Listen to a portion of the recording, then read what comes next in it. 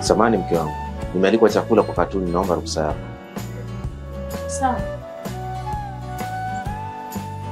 Wasalimie kwa Katuni.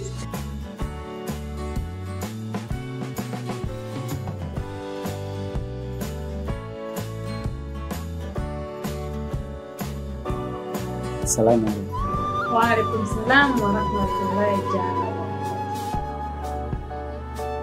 Kula chakula cha Yeye kashiba?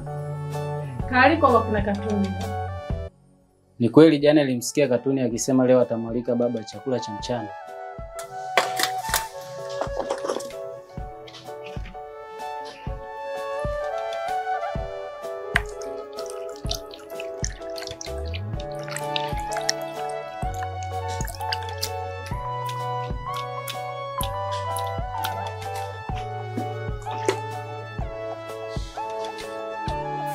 Nataka kumwambia kama nataka kuoa.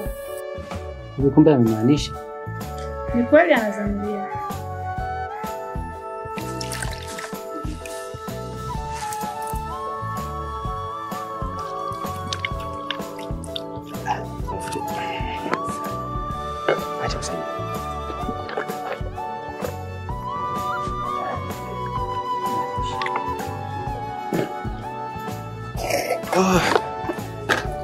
Kula kitamu. Asante shemeji. Sasa kitu kimoja. Shabani, Naam. chukua pesa hii, nenda kanunue vinywaji. Hapana, mimi nina miadi mida hii pale msikitini, naomba ruhusa nitoke. basi sawa. Mimi nadhani tuongozane pamoja ili na mimi nipitie moja kwa moja kazini. Au unasema vizuri. Shabani, vipi? Tunaenda pamoja au unabaki? Ah, tunaenda wote. Basi sawa, tunaweza tukaenda.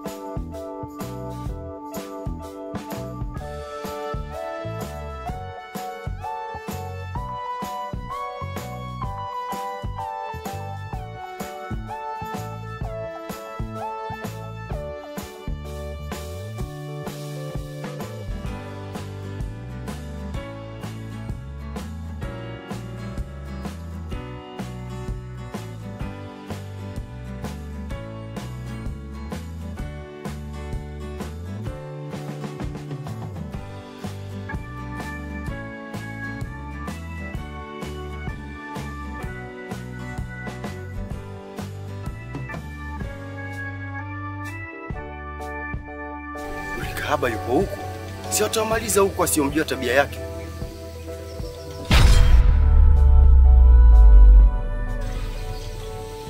Unamfahamu? Ndiyo, anaitwa Rehema, maarufu Rehema Shangingi, ni kahaba kwelikweli. Sijakuwa unamfananisha. Siwezi kumfananisha, ndio yeye. Ngoja nimuite Rehema. Rehema Shangingi, yeye. ilikuwa na kanaji jirani kule Tabata, ni malaya aliyekuburu. Unamaanisha maana yako kumsingizia mtu ni dhambi? Ngoja niwakumbushe.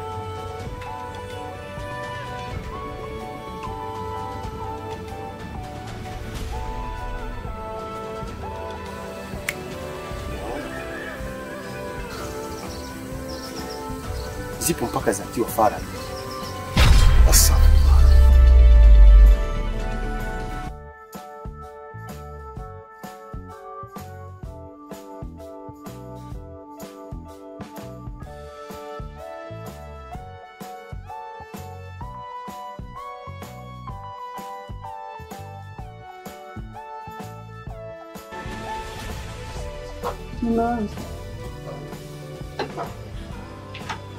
Una tatizo gani? Ule si mwanangu. Kivipi? Kumbe ni mchafu. Nimethibitisha kwa kuona video zake za ngono alizokuwa akifanya huko mjini. Pole sana, ni jukumu lako wewe kumbadilisha au mwanamke mwema. Yawezekana kaja huko kwa ajili ya kubadilika. Mimi simtaki kabisa. Sasa mume wangu, usipomsaidia wewe, ni nani atakayemsaidia? Wenda Mwenyezi Mungu kakukutanisha naye ili umsaidie. Wenda ameshabadilika na kuwa mtu mwema na anatumia mafuta.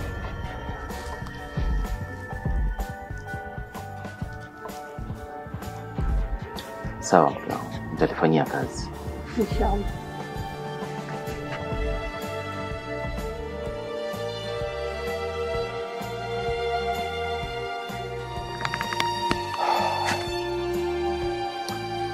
Mke wako yuko sahihi. Fanya hivi ili kumnusuru, na ndio maana ikaitwa nusura, na anayenusuru ni mwanaume.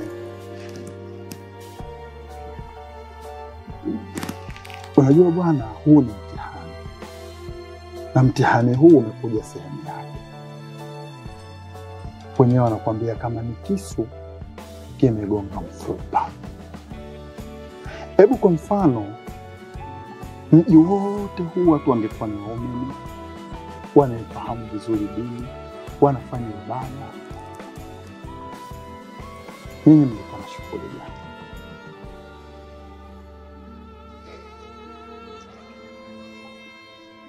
Kwa hiyo mnusuru yule binti.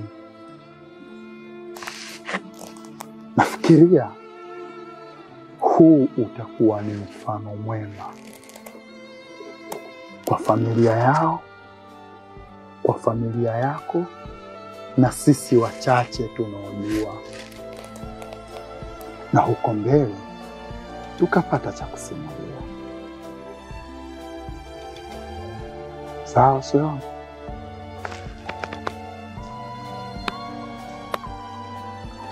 Sawa, nimekuelewa.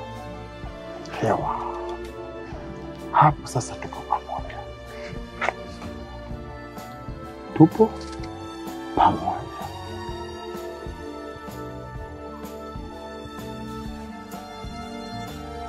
Japo nimejua ukweli wa mambo na maisha aliokuwa anaishi Rehema, Mimi lengo langu la kumwoa liko pale pale.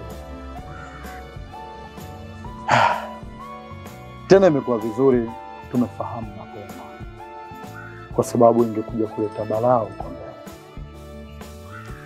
Rehema, usilie.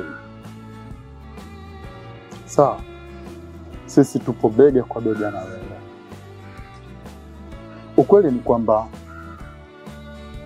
sisi wote hapa tuna mapito yetu, na inawezekana kati yetu kuna wengine wana mapito mabaya zaidi lakini kwa sababu tu hajaonekana. Ukweli ni kwamba wakati huu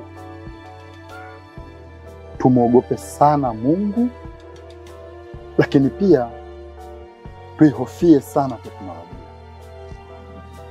Ni kweli baba yangu, mi binafsi nawashukuru sana kwa maamuzi yenu ya kumtoa huyu katika majanga aliyokuwa anayafanya. Ah, Lakini pia nawaomba sana sana mwende mkamlee katika madili ya kidini yanayompendeza Mwenyezi Mungu ili aweze kuishi maisha yenye hofu na Mwenyezi Mungu. Sisi tunashukuru sana kwa maamuzi yenu. Kweli ninyi wacha Mungu na Mungu awazidishie. Ah, sisi tunashukuru sana na hivi, ndo tutakuja kufungia hapa au tutaenda kufungia msikitini? Ah, mi naona ni vizuri tukiolea hapa. Ha, sisi bwana, tutakuja kuolea hapa hapa na hatutokuja wengi sana, lakini pia sio wachache sana, kwa sababu sisi tuna ndugu wa karibu kabisa. Kwa kwenye kumi kumi na mbili hivi tutakuja. Karibuni sana, si tuko pamoja na nyinyi. Si vibaya hata mkiongezeka, kwani hii ni sherehe. Inshallah.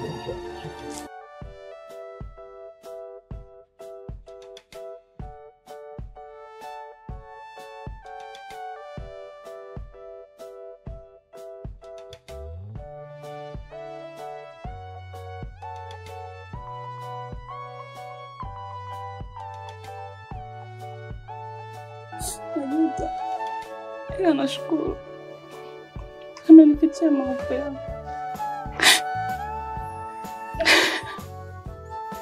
Sikutegemea kama naweza kuwa hapa. Nakuahidi sitarudia tena makosa. Nakuahidi pia kumlinda mtu. Usijali mdogo wangu, lilopita amepita, ila ndio. Na mimi 你的困难的，是故。